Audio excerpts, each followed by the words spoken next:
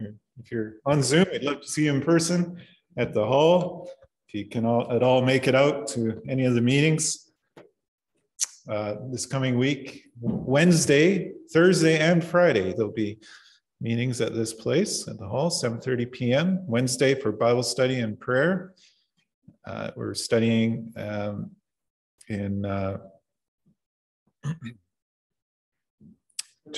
First John chapter 3, verse 8 about, is that right? Sorry, I should have looked that up, confirmed that. Uh, and then Thursday, Friday will be for prayer uh, in light of the upcoming gospel meetings and perhaps ministry at that time as well. 7:30 p.m. Sun next Lord's Day as today uh, at 10 a.m. for the remembrance of the Lord, breaking of the bread, drinking of the cup, and 11:45 for Sunday school and Bible reading, and then 7 p.m. for the gospel meeting again next Lord's Day evening. Now, we're very happy to have with us Mr. Eddie Wong from the Assembly in Vancouver, uh, Victoria Drive in Vancouver. And we're thankful for his willingness and his exercise to be with us. And I'm, I'm just going to open very briefly for Eddie, reading a few verses from the Bible and then stand down to give him plenty of time. So if we can open first to the Gospel of the Gospel of uh, Matthew. New Testament, first book in the New Testament, Matthew chapter 22. Matthew 22, verse 42.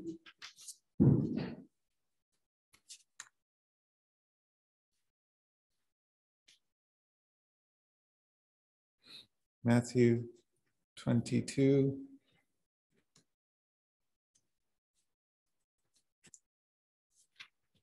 Verse 42 says, those are the words of the Lord Jesus.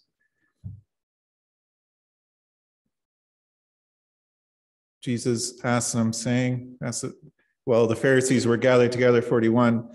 Jesus asked them, saying, What think ye of Christ? Kind of question I'd like to ask you tonight.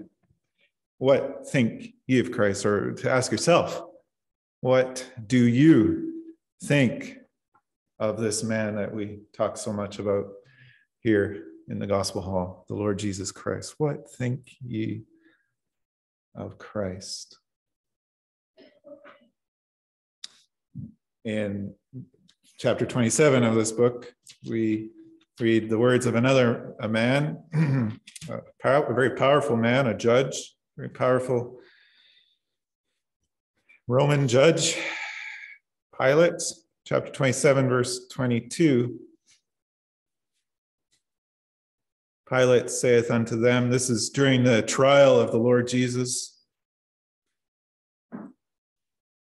Pilate speaking to the priests, chief priests, and elders of the people of Israel. Pilate said unto them, What shall I do then with Jesus?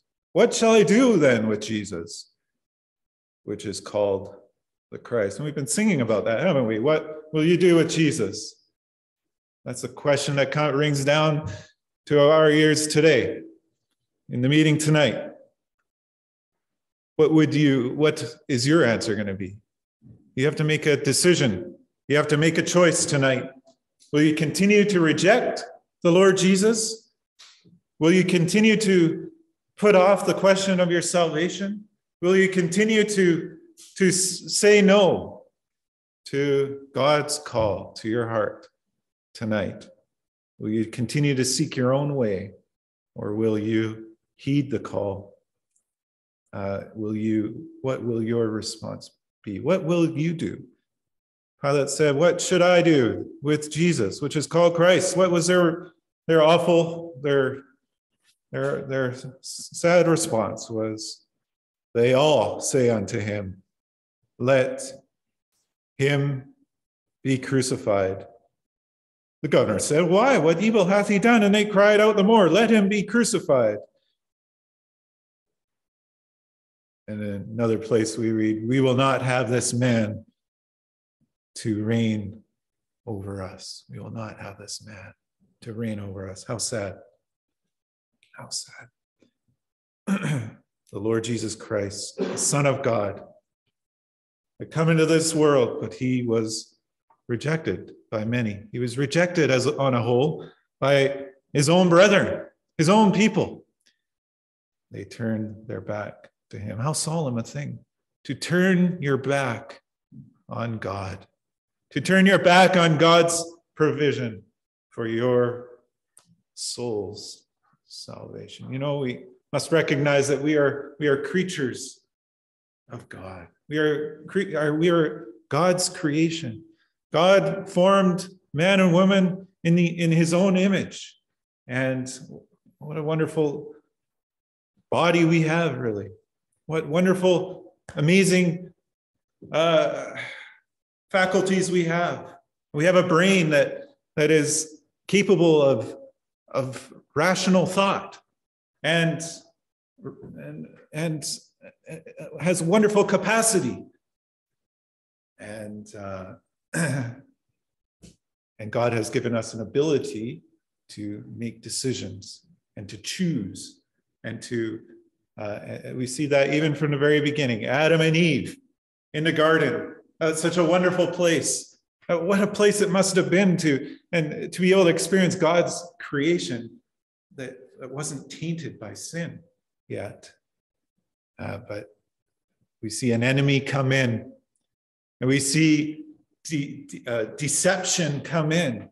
We see challenging of God's word. And we see uh, men and women choosing to choosing, making a choice to turn away from God, to disobey God's command. What a in a, in a, in a, simple way that that can be that can be seen in the world around us, can't it? It can be seen uh, in, in a world, in a, in a system that is, is working hard, it seems, to, to we're using our rational thought. We're using the, the wonderful brain that God has given us. Uh, well, some people some people think we're just animals. Some people think we're uh, we're just like like the monkey in the zoo. That we live and die like animals. What, a, what an awful lie that is. What an awful challenge to God that is, isn't it? Because in, in the creation story in Genesis, we read of how God formed man in his own image. He made, he made men and women different than animals. And God breathed into man the breath of life, and man became a living soul. Men and women, boys and girls, we have we have we have we're a higher ability than animals. We're not animals. We're we're we're created in the image of God. God loves you, and God's desire is to have a relationship with you, just like He had with Adam and Eve in the garden. He communed with them. He had a close relationship with them. He walked with them. And he wants to do the same with you. But unfortunately, sin came in and disrupted that beautiful relationship that God had with man. And now we are uh, we are lost without uh, if you're not saved in a meeting, if you've never had a time when when you've placed your faith and trust in the Savior, then we're lost, you're lost and separated from God. You're in spiritual darkness. You're you're headed to a lost eternity. You're headed to a place where, uh, where the judgment and the wrath of God uh, against sin will, will be uh, felt. If you reject God's provision that He has made for you to be saved, that's the story. That's the message of the gospel: is that provision has been made, that there is hope, that there is a, a way for you to be saved and to be uh, to have that relationship renewed with with with your creator and to live a life here on earth with hope for the future. Live a life on earth with uh, the, the, sure, the assurance of a home in heaven when this little launch pad, as it were, this, that's all our life is really. Been reminded this morning of how, how brief life is, how quickly time passes by. We read in Psalm chapter 90, there, the 90th Psalm, how quickly time flies by and, and then we fly away. Time, our little life is over. But that's not the end. Eternity is ahead of us. Do you want to enter in eternity resting in the arms of the Savior? Or do you want to enter into eternity resting in your own ideas, in the ideas of the world. You know, I was just thinking, uh, thought this before, I probably mentioned it before, but we're men and women are capable of great things. The, the inventions, the iPhones are, are they're amazing. They're wonderful. This iPhone probably contains it contains amazing technology. If you think of, of all the technologies in the world, we, there's a there's a, a, a, a space telescope orbiting the sun one one and a half million kilometers away right now, taking pictures into the, the vast universe and, and opening the eyes of humans to to how, how great and vast this universe is. And it's still not at the end. Men and women are capable of amazing things, but, but all these things, they deteriorate. They, they, they, they pass away, they, they fail, they break, they, cars wear out. Everything, everything we touch just disintegrates, really. But God, God is different. God is, God is great. And God is, it, eh, with, with God, God can give you life everlasting. God can give you life that will never fade away, that will never, that will never diminish. If you choose this day to, to accept the Lord Jesus Christ as your Savior, you will have a relationship that will never, never be broken, never pass away. God promises that He will never leave you, nor forsake you. In uh, Joshua, Joshua 24, verse 15, we read, uh, we read a challenge that he made to the people. Joshua 24, verse 15.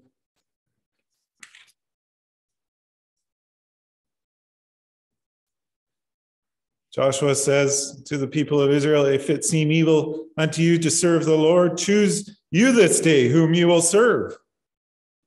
Whether the gods, small g, which the idols which your fathers served, that were on the other side of the flood? Or the gods of the Amorites in whose land you dwell? But for me as my and my house, we will serve the Lord. Choose you this day whom you will serve. And that's a challenge to you. There's a, there's a lot of ideas and philosophies and uh, pulling at you today in the world as you younger ones get further into the world. And and there's a lot of there's a desire to for our society to turn our backs to the things of god to turn our backs to to the moral the moral realities that God has set forth before us in His Word. There's a desire to, to turn right into wrong and to turn wrong into right. There's a desire to, to put God aside, to ignore what God has laid out so plainly for us in, in his word and in our conscience. There's a desire to, to lean on our own understanding, for man to lean on their own understanding. But my friend, that is such a dangerous place to be. To, to be uh, have such a, a, a, a unsound foundation to place your life on. Place your life on the solid rock. Place your life on the Lord Jesus Christ, the one who loved you and gave his life for you there at Calvary's cross, who died who, who was lifted up at Calvary and bore upon himself the judgment for sin that we deserve to bear. He took your place, He took my place. Will you put your faith? Will you put your trust? Will you accept Him? Will you rest in not on your own understanding, not on the philosophies of the world, not on the, the ideas that men generate? You know, they're, they're all, men have had good ideas, but there's nothing like God's word men's ideas, many of them, most of them have problems. Most of them fail. Most of them don't, don't, uh, don't stand in light of God's word, but God's word is true. God's word is sure. God cannot lie.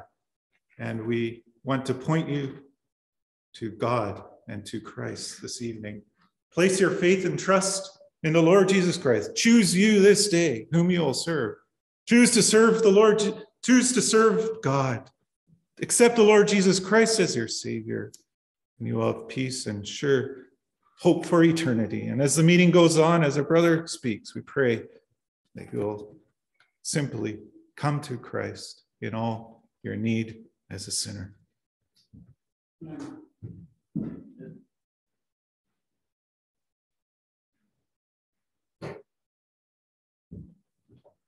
It's a pleasure to see all of you that have made the effort to come out tonight. Thank you very, very much for being here. I'd like to read with you uh, one passage, Mark's Gospel, chapter 5. The Gospel of Mark, chapter 5. And I would like to read from verse 21.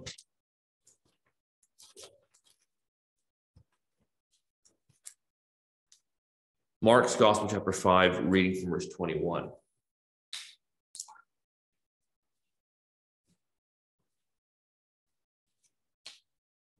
I'll just say here as you're turning there, I was just thinking as Simon was speaking, uh, only the, the thought simply this, as he spoke about that telescope peering into the universe, I was just thinking about how I remember somebody in a, in a space capsule blasting off from Earth said that, you know, as you go up in space, you get about 50 miles up or 80 kilometers, and there is no atmosphere. There is instant death the very fact that in outer space, it is really an empty vacuum. There is no life outside of this planet in which we live.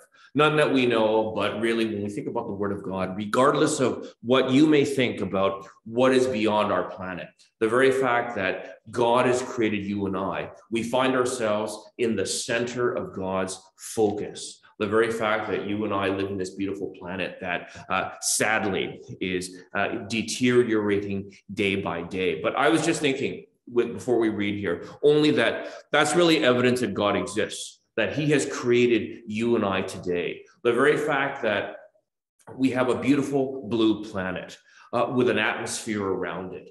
And the very fact that we are located such that if we were any closer to the sun, we would all burn up and be too hot.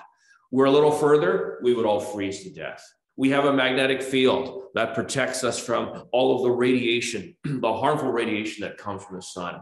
That's not a coincidence. The very fact that we are where we are because God has made you and I for a purpose. And that purpose is to be saved. And so I want to ask you this evening have you ever accepted the Lord Jesus as your Savior?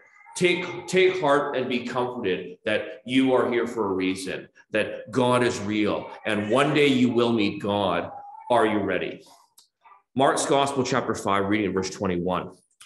And when Jesus was passed over again by ship unto the other side, much people gathered unto him, and he was nigh unto the sea. And behold, there cometh one of the rulers of the synagogue, Jairus by name. And when he saw him, he fell at his feet and besought him greatly, saying, My little daughter lieth at the point of death. I pray thee, come and lay thy hands on her that she may be healed, and she shall live. And Jesus went with him, and much people followed him and thronged him. And a certain woman, which had an issue uh, of blood 12 years, and had suffered many things of many physicians, and had spent all that she had and was nothing bettered, but rather grew worse.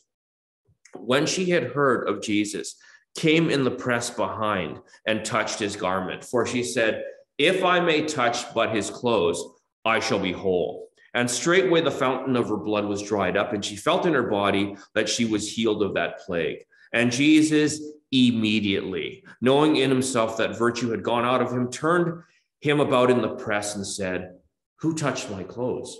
And his disciples said unto him, Thou seest the multitude thronging thee, and sayest thou, Who touched me? And he looked round about to see her that had done this thing.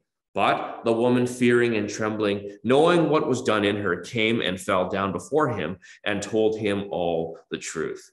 And he said unto her, Daughter, thy faith hath made thee whole. Go in peace and be whole of thy plague. While he yet spake, there came from the ruler of the synagogue's house certain which said, Thy daughter is dead. Why troublest thou the master any further? As soon as Jesus heard the word that was spoken, he saith unto the ruler of the synagogue, Be not afraid, only believe. And he suffered no man to follow him, save Peter and James and John, the brother of James. And he comes to the house of the ruler of the synagogue and seeth the, uh, the tumult and them that wept and wailed greatly. And when he was come in, he saith unto them, Why make ye this ado and weep? The damsel is not dead, but sleepeth. And they laughed him to scorn. But when he had put them all out, he taketh the father and the mother of the dam- damsel and them that were with him, and entereth in where the damsel was lying. And he took the damsel by the hand and said unto her, Talitha cumi, which is being interpreted, Damsel, I say unto thee, arise. And straightway the damsel arose and walked, for she was of the age of 12 years. And they were astonished with a great astonishment. And we trust that God would bless us the reading of his precious word and what we have read already. I've been thinking a little bit uh, simply of the my topic, my overall outline is really emergencies. And when I think a little bit about an emergency, we have two people here and they are in urgent need of medical attention.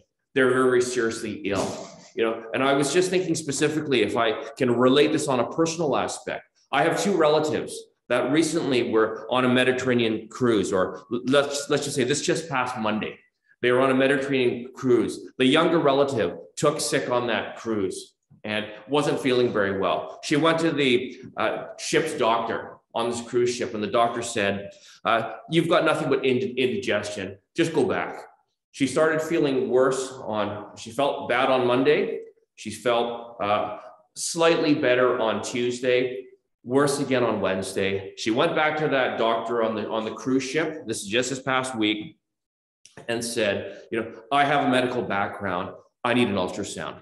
And so the doctor finally said, All right, when you dock into the port of Naples, Italy on Thursday, we'll get you an ultrasound at that hospital. And so when she went into that hospital, she found that her appendix had burst.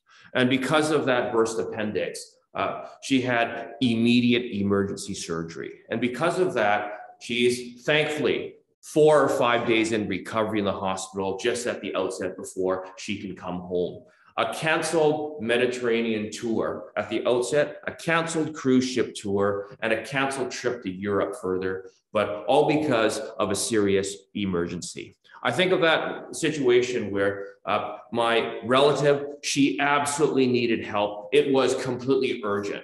And when I think of the gospel of God's salvation, if you're not saved tonight, you have a spiritual emergency. The very fact that you need urgent attention not because of perhaps some underlying health issue that you have, and that itself is very, very important, But the very fact that the Bible tells us that you have this spiritual disease called sin, and sin is 100% fatal. The Bible tells us in Romans chapter 6 and verse 23 For the wages of sin is death, but the gift of God is eternal life through Jesus Christ our Lord. Sin is 100% fatal. I think of what it tells us in Hebrews chapter 9 and verse 27.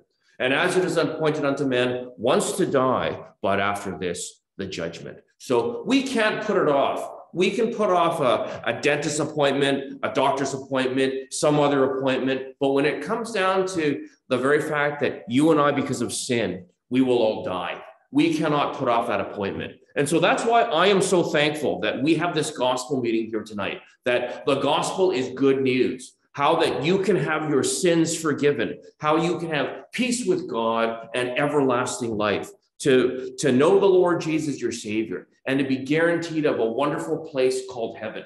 There's no doctors in heaven because nobody gets sick. There's no sadness. There's no broken arms. There's no burst appendices. There's no other kinds of illnesses because heaven is a place in Revelation where God says he will wipe away all tears from their eyes. It is a place of absolute joy, absolute peace, and absolute beauty. If you think the world in, uh, in, which we live is such a beautiful place, and yes, there are so many beautiful places, think about a world that will be remade, a world where there is no pollution. There's no crime. There's no need to lock your doors or to lock your windows when you leave at night. It is a place of absolute safety, absolute holiness and absolute beauty, a place being in God's presence, where you will be in God's presence for all eternity. Do you want to be in God's heaven? And so I can't help but think that this is a spiritual emergency if you're not saved. I took the liberty this morning or uh, earlier on to learn a little bit about the Abbotsford Regional Medical Facility and Care Center. I was impressed that there is an emergency room and that is open 24 hours a day, seven days a week. In fact, when we look at the hospital here, I was also impressed that it is a level two trauma center. What does that mean? That means that any person that comes into that hospital with a serious illness, there are specialists there to meet that need, regardless of what health issue you have. Initially, there is somebody to help you. I think of God's salvation. I think of the very fact that the Lord Jesus could say to everyone, Come unto me, all ye that labor and are heavy laden, and I will give you rest. There is he that cometh to me, I will in no wise cast out. The very fact that the Lord Jesus is welcoming men and women and boys and girls to come to him as a sinner, acknowledge your sin, that you are a, guilty, hell deserving sinner, but yet when Jesus died on the cross, he died for me. He, not what or or what can I do, but he is the remedy for sin. Do you know the Lord Jesus as your Savior? In verse 21, I've just been so impressed that as he got off that ship, we read that many, many people they came to him. This is a day and age without Facebook, Twitter, social media, without cell phones, technology, as we were hearing about. This was a day and an age where people were excited to see him. They came to him out of all of the villages and the surrounding areas. And there was no entertainment. There, there, there was no uh, musical act or uh, anything that would attract the eye, yet they came, the multitudes from every quarter, to see and to hear God's beloved Son. Why was that? He was, he was able to offer them something that they did not have in, that, in the situation they found themselves in. He offered them hope. Can I ask you tonight if you have hope? What will happen when you die? Where will you be in eternity? Did you ever realize that a lot of the issues and the problem, well, the problems that we face and all of the, the challenges that we cross our that cross our pathway, God has a plan for that. The very fact that if you're not saved, He is using those adversities to make you realize I'm here for a short time and then I will go into eternity to meet God. That's the reason why we have all of these difficulties to turn a sinner to God, to search out why does this happen? And really, because of our stubbornness and because of our sin, sometimes it takes a big intervention to turn us around. And so, our hope and our prayer would be that you would simply sit in this gospel meeting and that you would realize in the safety and the peace and comfort that we have right now to understand that God loves you, that you have a never dying soul, a soul that will live forever, even though your body will go into the ground. Your soul will go out to meet God. And if you are saved, if you have a time in your life when you have personally accepted the Lord Jesus, your Savior, you will be in that place called heaven for all eternity. But if you reject so great a salvation, as Simon has already said, sadly, you will be in a place of eternal pain, eternal sorrow, and eternal suffering for all eternity. Hell in the lake of fire. That is a place where you don't have to be there.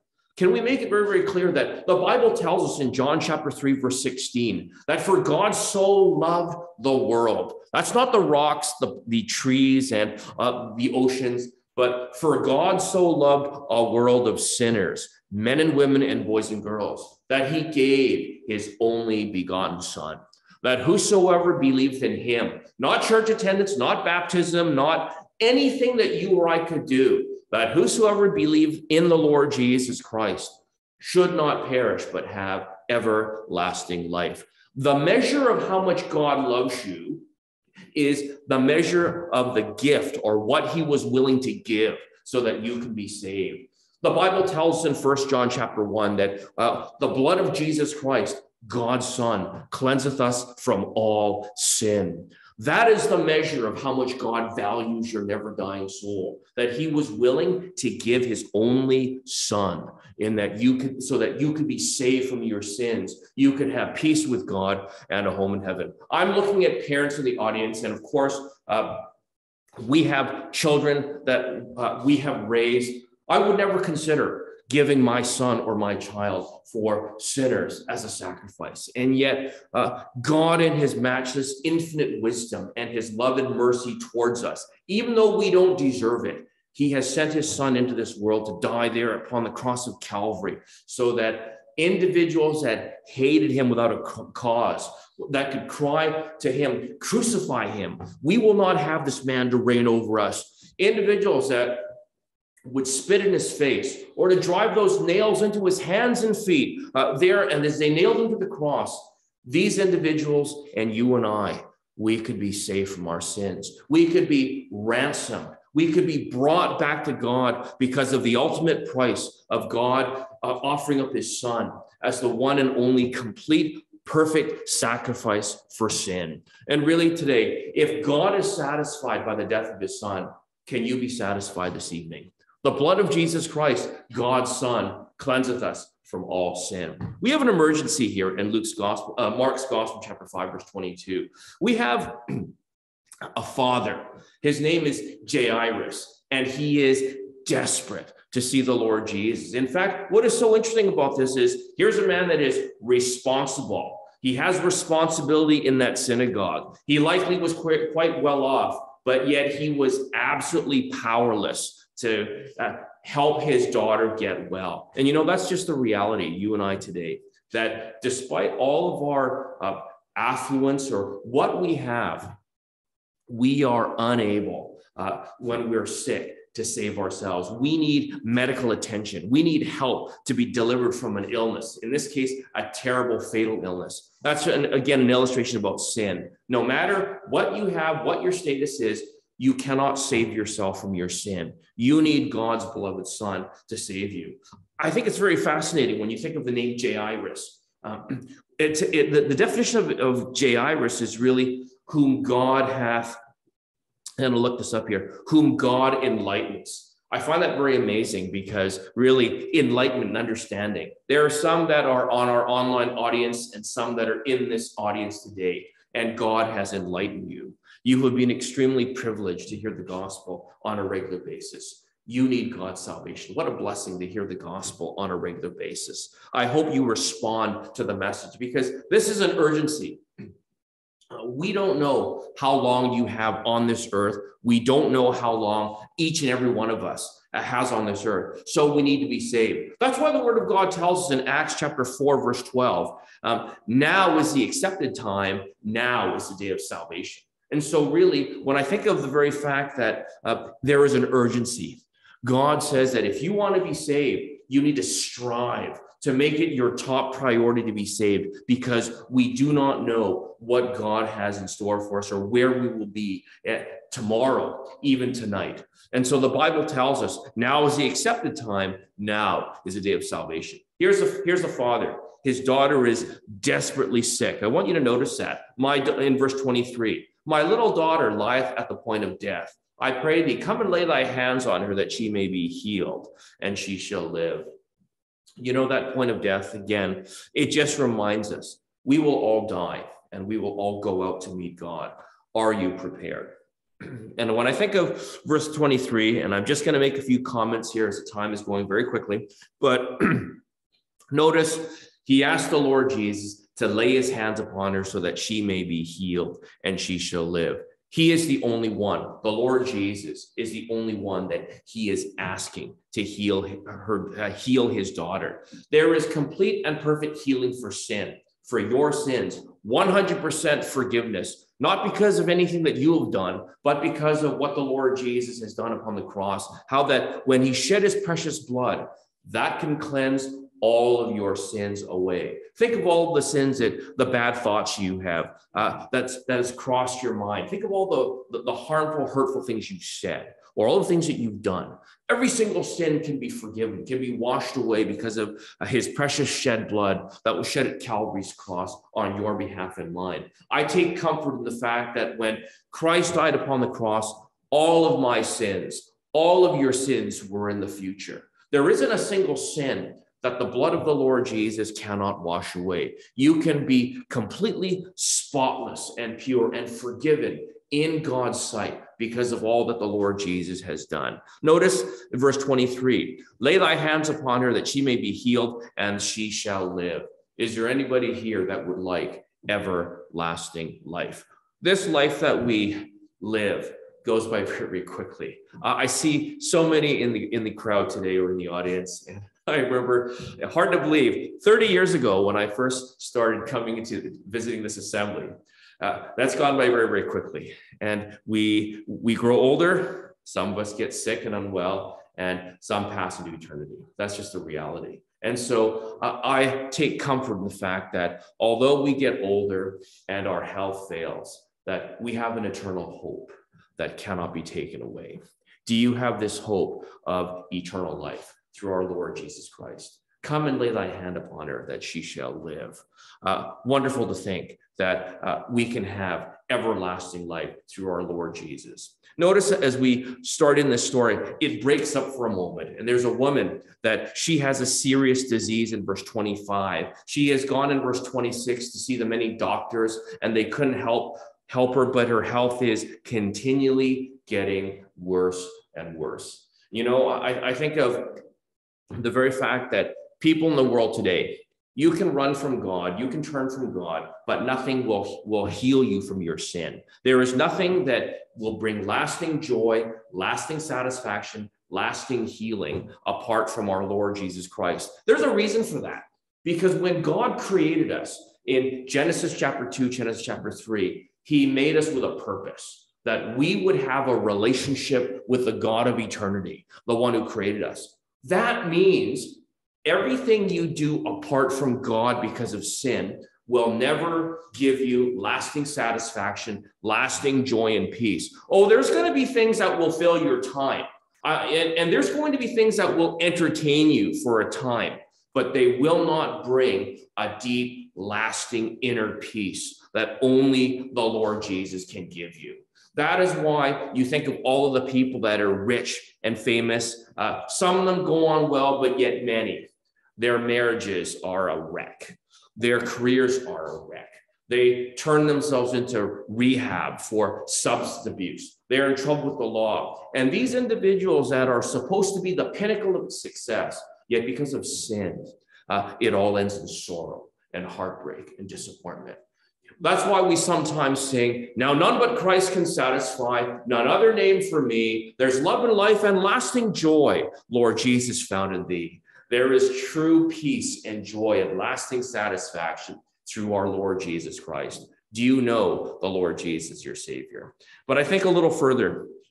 That uh, here she is. She is following the Lord Jesus. In verses 27 to 33, she just touches his garment. She strives. It's not the striving that saves her, that heals her. It was the power of the Lord Jesus. But that striving, she was willing to. Uh, she was willing to overlook all of the dirty looks of the people, all of the crowd. What would they think of her? She was willing to overlook that. And just in her meekness and in her humility, she reached out and touched the garments of the Savior as he was walking by.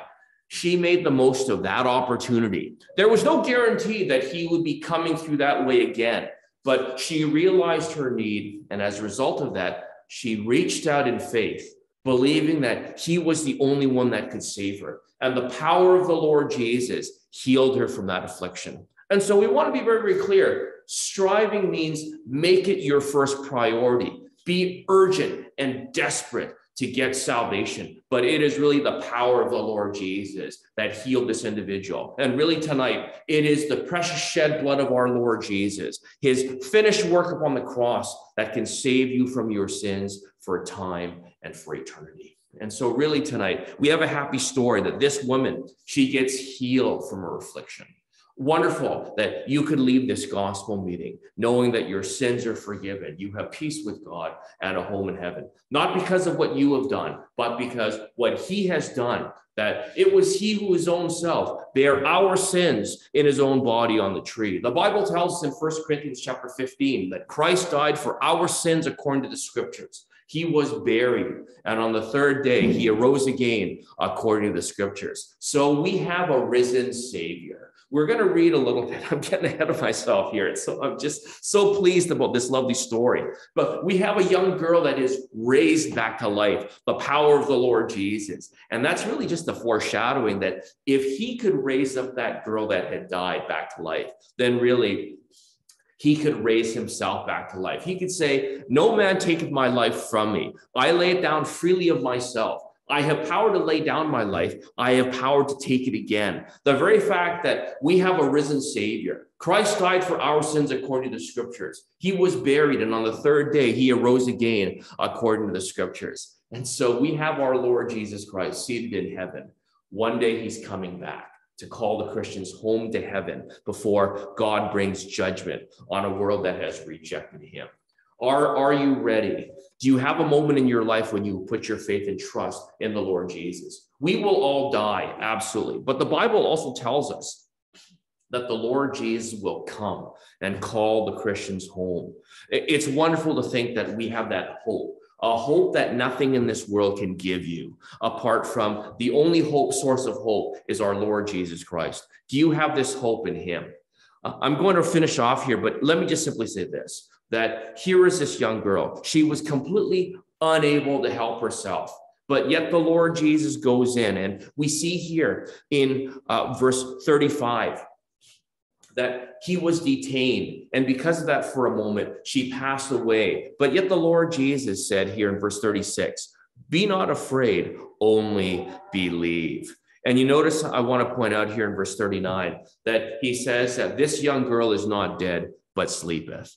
It's a wonderful illustration, isn't it? That somebody that is asleep will be will wake up once again. And that's a lovely description of every individual that knows the Lord Jesus as your Savior, that when they pass from this scene into the next, when they when they die, they will be raised up. They will wake again in God's presence for all eternity. Do you have that peace and comfort? We have a tremendous miracle here in Mark's Gospel, chapter 5. There were two people that needed urgent emergency care. They met the Lord Jesus, and as a result of that care, as a result of his power, they were both healed. They were completely made whole. Can I ask you tonight at the end of this gospel meeting, do you want to be made whole from your sin?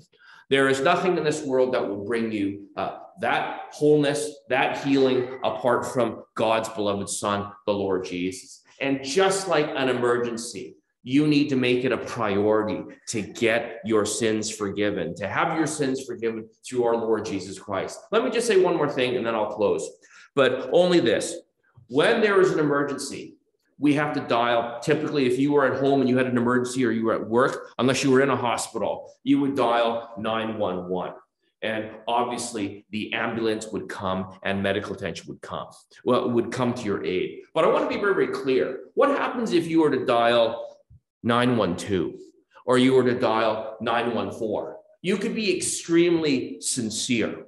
You could be extremely hardworking. But if you didn't follow that those instructions for help exactly. If you did not dial 911 there would be no help. No matter uh, what how much money you had in your bank account no matter what your status was regardless of that you would have to follow that instruction exactly to get that help i'm reminded of what the lord jesus could say in john chapter 14 and verse 6 i am the way the truth and the life. No man cometh unto the father but by me. That means if you want to be in heaven if you want to have your sins forgiven it has to be through god's way through god's son. Just simply acknowledge that I am a guilty, hell deserving sinner, but that when Jesus died on the cross, he died for me. Trust him tonight. And the Bible tells us that you will be saved for time and for eternity. Let's pray. Our Father, we bow in thy presence tonight and would thank thee once again for the privilege of being able to open up thy word. We have considered uh, solemn matters today. We've looked at illness and death and departure. But yet we thank thee that those individuals that were in the presence of thy son, they were completely healed and they lived. And so, how we thank thee for the spiritual application that every sinner that is willing to acknowledge their guilty, helpless condition, but simply puts their faith and trust, their complete dependence upon the Lord Jesus, thy Son, and his finished work upon the cross. We thank thee for the promise that they will have eternal life sins forgiven, and a home in heaven. We would pray for each one in our uh, audience tonight and those that are through the online audience. We ask thy blessing upon them that if there is somebody that is still outside of Christ, that they would make it their priority to deal with this spiritual emergency, that they would turn from their sin and put their faith and trust in the Lord Jesus Christ and be saved for time and for eternity. We, we ask thy blessing upon the gospel going forth in other places likewise, that uh, thou wouldst bless thy word, that thy son would be glorified, exalted, and uplifted, and uh, honored to the salvation of precious souls. For we ask these things, part of thy blessing, as we give thee our grateful thanks and ask these things in the name and for the glory of our Lord Jesus Christ. Amen.